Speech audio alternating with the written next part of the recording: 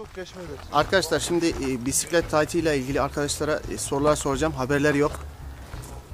Bakalım ne cevap verecekler. Arkadaşlar Ali Akış'a e, yaklaşıyoruz. Ali Akış Evet Ömer Hocam. ne yapıyorsun nasılsın? Vallahi iyilik sağ ol. Sana bir sorum olacak. Zor olmasın bak gözünü seveyim. Petli tayt giydiğinde ilk defa neler hissettin? Çok, çok zor bir soru. Abi söylesem mi? Söyle abi çekinme. Arkadan biri böyle böyle elliyor gibi hissediyorum böyle böyle elliyor gibi hissediyorum ilk zamanlarda. Evet. Sürekli arkana bakıp duruyorum böyle. Ondan sonra bir müddet sonra alışıyor. Tamam.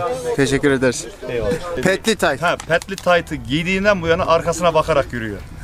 Hala alışamadı. Biz alıştık. O hala böyle yürüyor. Bir gün sordum Ömer niye böyle yapıyorsun dedim. Abi hala elliyor gibi geliyor diyor. Evet şimdi arkadaşlarımız yanımızda. Arkadaşlar size bir soru, soru soracağım. İlk defa petli tayt giydiğinizde nasıl hissettiniz? Sorumuz bu. Vallahi hocam eee, rahatlık ya işte.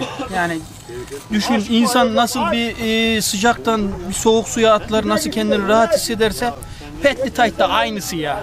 Bir Sıcak havadan soğuk suya girmek gibi bir şey. Ama benim çok bir şey oluyor ya.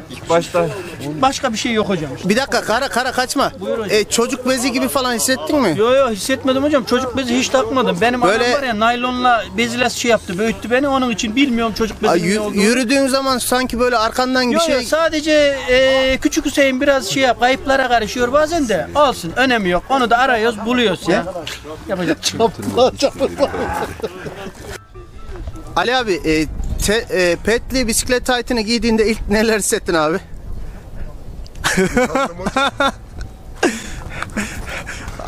Ut- Utandın mı? Evet giydiğim Na- zaman utandım. Yani şimdi utanmadım. Na- nasıl bir his abi? Anlatır mısın? Vallahi hocam çok açıkçası yetiştiğimiz kültüre uygun bir kıyafet değil. Evet. Ama Giyince utandım ben yani ilk giyince. Yani Sonra alıştım. rahat edebiliyor musun içinde? Tabii çok rahatım şu anda hocam. Arkandan biri elliyormuş gibi oluyor mu? Yok olmuyor hocam. Olmuyor mu? Olmuyor hocam. Rahatsın yani. Evet rahatım. Tamam. Teşekkür ederiz.